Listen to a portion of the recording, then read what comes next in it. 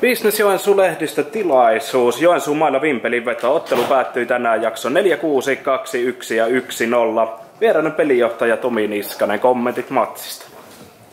No onnittelut Jyväskylän Joensuulle pelivoitosta, että olivat tänään tuo verran parempia, että ansaittivat pelivoitoa. Tota, sitten kertoo meidän joukkue, että ekalla jaksolla niin oltiin aika sillas siinä viimeisessä vuorossa, mutta sieltä puserettiin itsemme eloon ja tuota, toisella jaksolla niin sama juttu, että vielä aika liikkeelle siinä tultiin, mutta ei nyt riittänyt. Ja sanotaanko, että varmaan sille oikeutetusti Joensuu sen vei, koska oli parempi siinä toisella jaksolla. Ja Superissa samoin kakkoskeulasta saivat sitten tilanteen tehtyä. Ja sanotaanko, että Juho Toivola oli ihan kohtuullisen hyvässä lyönnistä että oli hienoja lyöntejä, ei, ei maittu sille mitään. Ja tota, niin onnittelut Joensuulle olivat tänään parempia kotijoukkolta sitten Mikko Huotari. Kaksi pistettä sarjakärjeltä varmasti niin kuin tuntuu aika hyvältä. Ja varsinkin ulkopeli tänään tuo toinen jakso ja supervuoropari, niin aika hieno. Kommentit matsista ja onnittelut toisesta.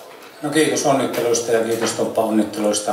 Kyllä me varmaan tänään oltiin niin kuin tässä pelin vaateessa, että alkukauden paras joukkue ja se asettaa, niin kuin, asettaa rima korkealle ja, ja kyettiin olemaan siinä oikeastaan mukana myös ensimmäisen jakson ja heidän hyvyyttänsä sitten kääntyi, kääntyi voitoksi.